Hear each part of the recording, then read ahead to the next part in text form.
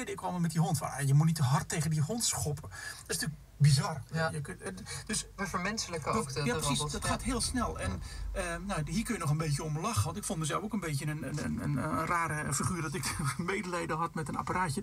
Ehm, maar dat zal al verder gaan. Wat moet je straks met zorgrobots? Hè? Als mantelzorgers zijn ze waarschijnlijk straks heel belangrijk. Maar mag je hem dan nog uitzetten? Eh, als medebepaler van de publieke opinie. Dat zie je nu bij die uh, tweets